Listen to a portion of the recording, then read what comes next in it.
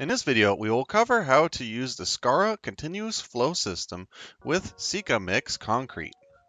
We will be using the horizontal mixer to prepare the Sika concrete before it is put into the hopper. Before opening the bag, make sure that you are wearing a proper face respirator to not breathe in any of the dust. Be sure to add the correct amount of water, as adding too much or too little will make the mixture very difficult to work with. Once the mixture is ready, you can open the valve and let it flow into the continuous flow machine. Now that there is water in the mixture, it is important to not let it sit idle, as it has been activated and will be hard within minutes. You can help the material get further down the hopper by using a plunger-like device or a vibrator motor. This plug is the power input for the machine and should be the only one that is plugged into an external source. The other cords on this machine are used for extra attachments that are not used in this process. This cord should be attached to the start-stop button. It is important that the grate be placed on top of the machine for safety. The machine will not operate unless this magnet is in place. Here's an example of trying to start the machine while the safety grate is not in place. When the machine is powered on, it will immediately display an error message.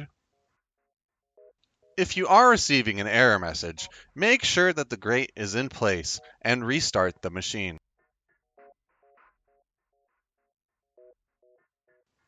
The controls on the machine are simple and easy to use. There is an increase and decrease speed button, as well as a forward and backward switch.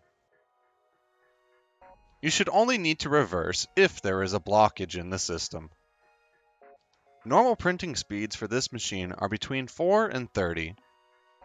It is very important for the person controlling the pump to be in constant communication with the person controlling the printer in order to get the best results with the object you are trying to print. The start and stop button is on the end of a cord for this pump. If you sense anything is going wrong, immediately push the emergency stop button on the control panel. One trick you can do is start the print early and then bring the print speed down to 1%. Once the pump is turned on, you then restore the print speed to full and monitor the speed closely with the pump operator. The height may need to be adjusted for the first layer.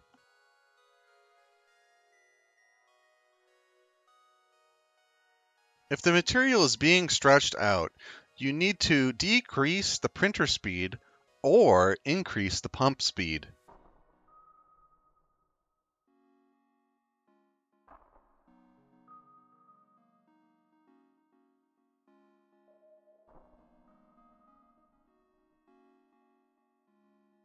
As you can see here, the pump operator is changing the speed to make sure that the print is going well.